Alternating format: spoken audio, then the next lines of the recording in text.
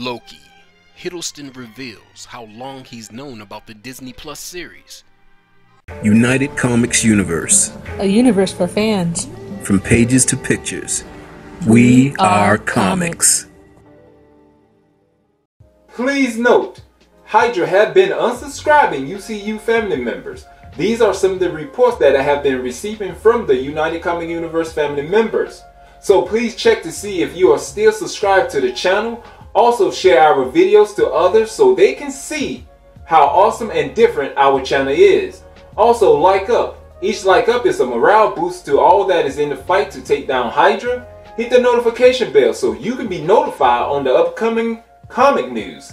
If this is your first time here, thank you so much for joining us. Please tap that subscribe button and hit that notification bell so you can be a part of the fight to take down Hydra. Hello, UCU family members. This is Joninsho again, slicing and dicing it up as usual. Here we go with another rundown. This is an article from coming from CBR.com. Again, CBR.com is a great, great, great place to get news. It's all about comics, just like us. Really, really great place. I suggest you go check them out. If you want to see some of the art they have posted and read articles and enjoy yourself, good place to go. Until then, you can hear it from me. While news of a Loki series was only officially announced in April, it appears the series has been in the works for quite some time, or rather, quite a few years. Uh-huh, you know how they do us. You know how they do us.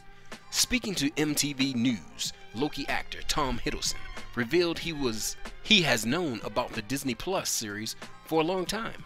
In fact, he found out approximately six weeks before the release of Avengers Infinity War. Is that how you're gonna do us, Tom? That's how you're gonna do us? Do what you gotta do, man. Do what you gotta do. More power to you, bro.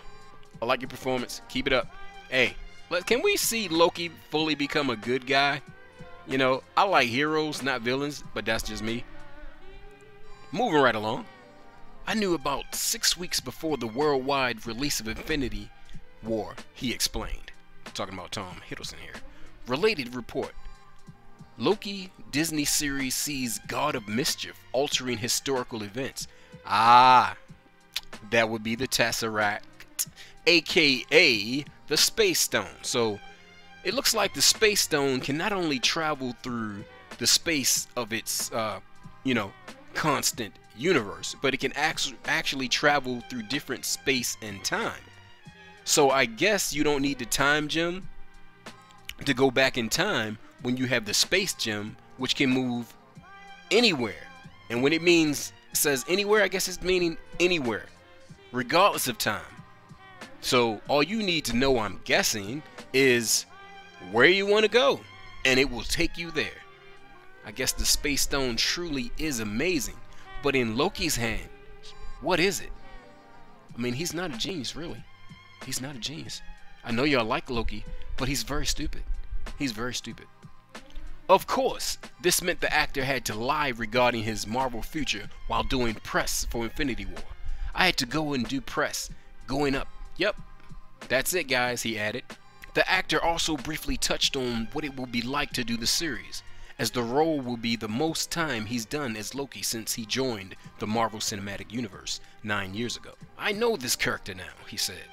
I feel that the audience knows him, and playing him, and playing him truthfully, but presenting him with new challenges, which then I'd have to change him in different ways, is the most exciting aspect of it.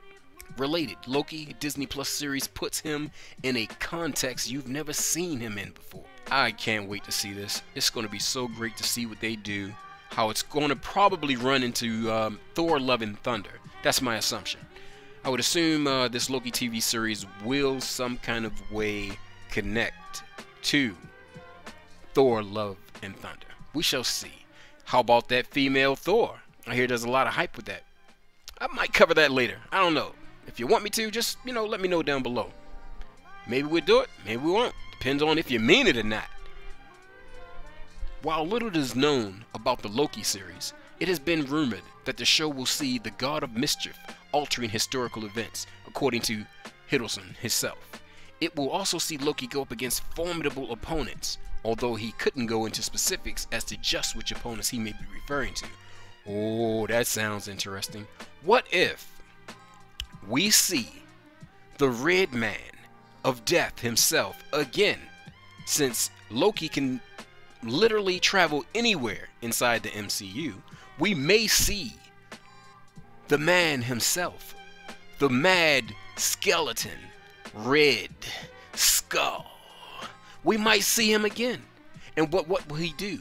How will Loki deal with him? Can the military genius and malevolent tactics of the Red Skull go up against Loki, the god of mischief? I think not.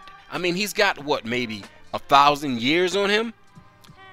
We'll see what happens. But do you think that Loki has taken the Tesseract, aka the Space Stone, only to end up having the Tesseract taken again from him by guess who?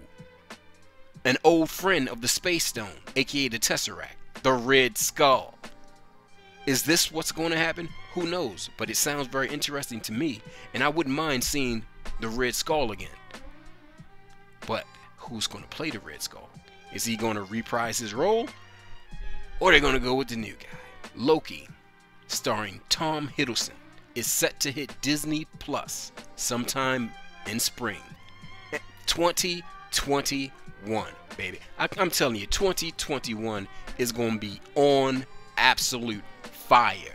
The things we're hearing about Phase 4 is awesome.